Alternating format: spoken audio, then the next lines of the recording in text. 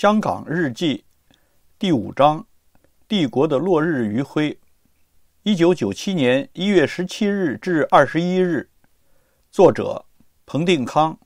播讲：夏秋年。一月十七日，星期五。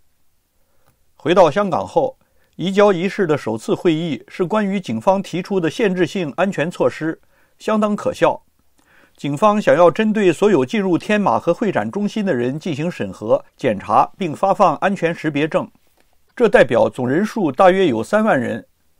警务处助理处长再三提醒要保护宾客免于尴尬，但警方却露出了马脚。难道已经出现中国的保安措施了？我叫他们回去再好好想想。我绝不会让香港在六月三十日前变成武装基地。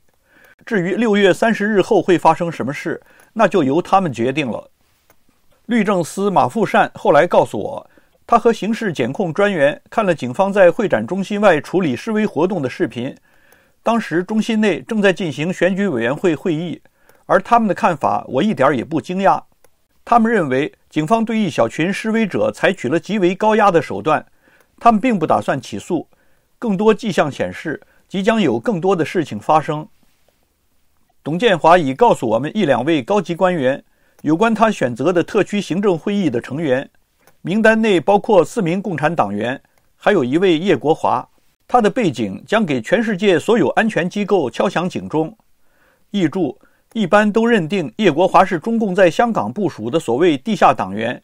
他被董建华任命为特别顾问。建华还有一位名叫陆祥安的守门人。正在协助他与目前的公务部门保持距离。我们还听说，筹委会底下的一个小组提议废除人权法，重新恢复早期殖民时期的法案及限制示威行动与政治团体的活动。当然，这项法案已多年未曾施行，甚至说根本没真正施行过。若恢复的话，将为现行的法律带来极大的混乱。中英联合声明和基本法指出。公民与政治权利国际公约应该适用于香港，然而现在的提议却是中国将会把违反公约的法令重新写入法典，此举一定会让法院人仰马翻。在遭受各界数次抗议后，现在建华似乎对心目中的行政局成员名单反悔了。一月二十一日，星期二，媒体越来越关注我们的人权立法所受到的威胁。在行政局的会议上，许多成员指出，董建华应该让中方在七月后将这个问题留给他的政府来处理。我们讨论的主要是住房问题。在一九四零和五零年代面临迫切的住房需求时，港府参考了英国势力的住房部门，或者是我猜测的新加坡的建屋发展局，建立了公共的住房管理部门。这项政策在当时是可以理解的，但如今。我们却被困在不符需求的社会主义住房政策之中。相当不寻常的是，这项政策与私人大型地产开发商的利益紧紧捆绑在一起。这些开发商控制了大量的土地，并确保住房供应不会拉低房价或抑制房价上涨。这项政策的结果是，尽管人们拥有高收入，他们还是很难买得起房子。如果他们住在公共屋村，易住。类似台湾的社会住宅，就没有动机去买房。租金问题的政治色彩越发浓重，房客只需支付家庭所得百分之九左右的租金，而且租约可由父母传给子女。而那些已拥有私人房屋的人，继续紧抓着公共房屋不放。